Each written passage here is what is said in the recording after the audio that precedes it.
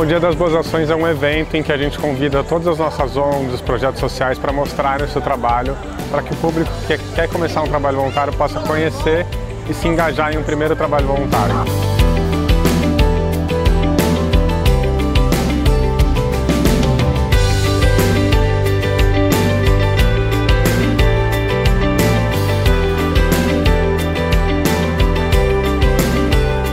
Nessas três edições a gente já vê pessoas que conheceram uma ONG no Dia das Boas Ações e aí viraram voluntário naquela ação e depois continuaram. E hoje estão até expondo seus projetos representando a ONG que elas conheceram no primeiro Dia das Boas Ações. Então são várias histórias, histórias de ONGs que conhecem outras ONGs, de pessoas que conhecem projetos sociais, se engajam, começam projetos próprios, então tem muita história e hoje a gente junta todo mundo que faz parte dessa história do Atados e do próprio Dia das Boas Ações. Os projetos estão aqui, a gente consegue ter um pouco mais de contato com eles, né?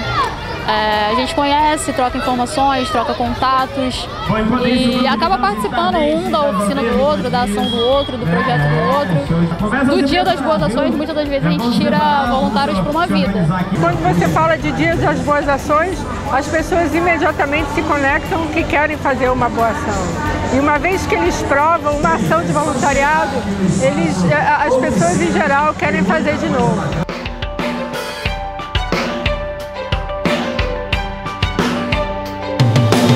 Aqui o trabalho de muitas dessas ONGs, o trabalho voluntariado está suportando é, reduzir as desigualdades, além de se trabalhar na área de saúde, de educação.